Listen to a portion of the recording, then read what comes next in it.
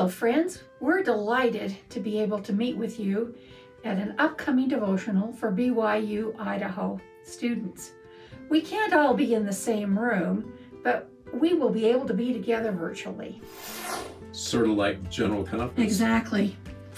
I will be sharing a story about an experience I had in Africa about the importance of following the rules to stay safe, even when you can't see the danger. And I'll share a metaphorical seismic event and discuss how we can go through it and still remain standing. We hope you'll join us.